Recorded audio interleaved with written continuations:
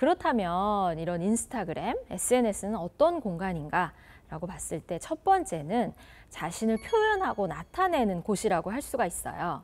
실제로 제가 좋아하는 책 읽기, 등산을 좋아하시는 분, 뭐 등산에 대해서 굉장히 자기가 좋아하는 그 서브젝트에 대해서 이렇게 하고 있는데요. 또 요즘 세대들의 특징은 인스타그램 계정을 하나만 운영하는 것이 아니라 두세 개, 뭐 많이는 뭐 네 개까지도 운영하시는 분들이 굉장히 많이 있더라고요. 왜냐면 그 각기 자, 다른 자신의 취미를 통해서 자기를 표현하고자 하는 욕구를 그렇게 해서 해소하고 있다 보시면 될 것 같아요. 그런데 굉장히 재미있는 건요.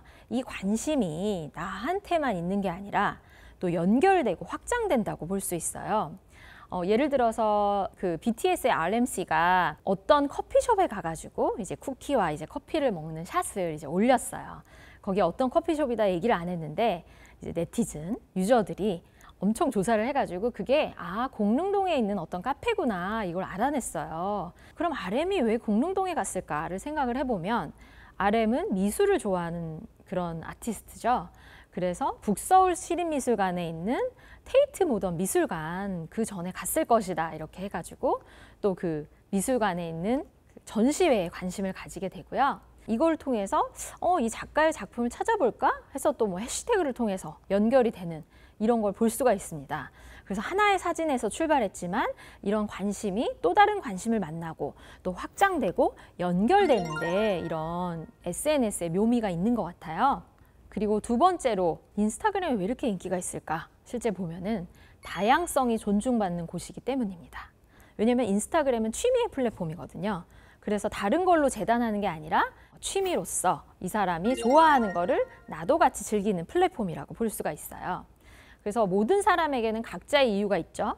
그래서 어떤 사람은 자신의 일상을 이제 기록하기 위해서 인스타그램을 쓰기도 하고 또 춤을 잘 추시는 분들은 자신의 댄스를 이제 올리기 위해서도 인스타그램을 쓰는데 어, 되게 재미있는 것은 이런 다양성이 제재를 받지 않고 존중받는다는 거 이걸 말씀드리고 싶습니다.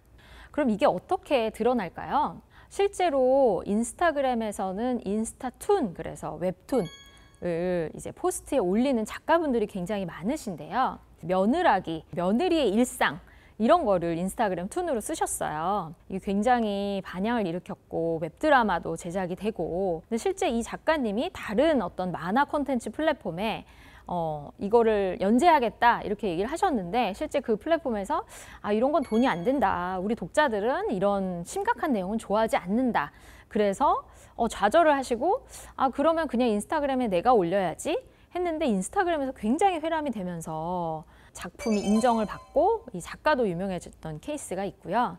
그래서 이렇게 인스타그램에서는 나만의 개성이 장점으로 이제 발휘가 되고 있다. 이렇게 말씀을 드리고 싶어요.